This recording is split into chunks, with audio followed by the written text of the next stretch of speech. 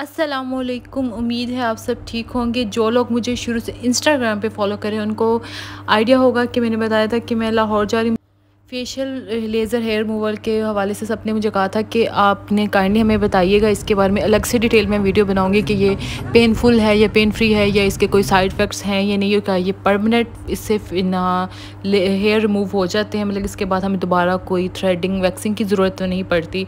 तो इन मैं इसकी डिटेल से अलग से वीडियो बताऊँगी। जब मुझे इसका सारे मेरे सेशंस कंप्लीट हो जाएँगे, फिर ही मैं बताऊँगी और मैं कहाँ से करवा रही हूँ, ये भी इन मैं आपको बताऊँगी।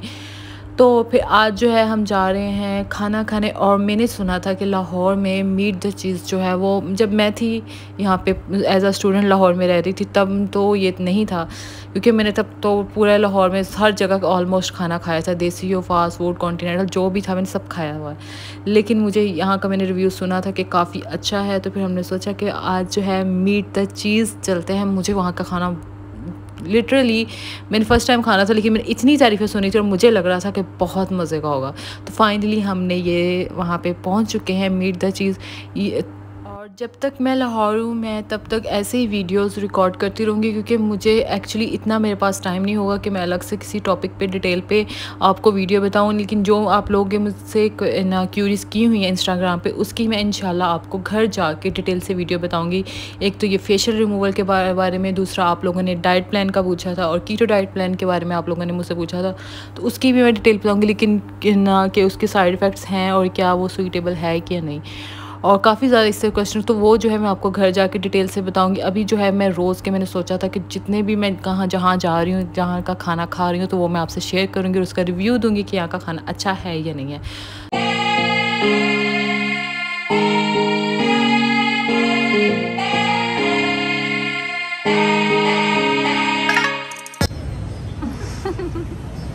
मशहूर हो रहे हैं पैसे हमारे।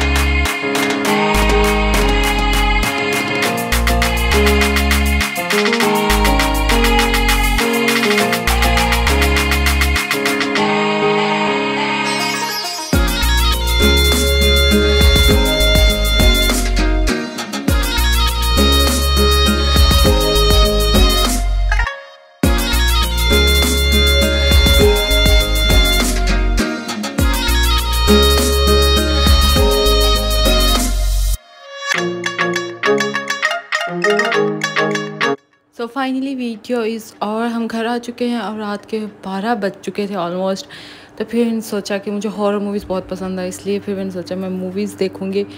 और अब हम मूवीज़ देख रहे हैं। इसके बाद आपने क्या करना है मेरे चैनल को सब्सक्राइब भी करना है और वीडियो को शेयर करना नहीं भूलना और मेरी वीडियो को ज़्यादा ज़्यादा लाइक्स देने हैं। फिर मिलते हैं नेक्स्ट वीडियो पे।